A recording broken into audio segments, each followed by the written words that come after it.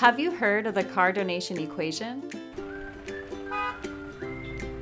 Less of this equals more of that.